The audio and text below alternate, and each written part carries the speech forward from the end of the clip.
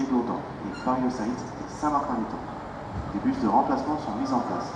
Pensez à consulter l'affichage en gare l'application SNCF pour le site transport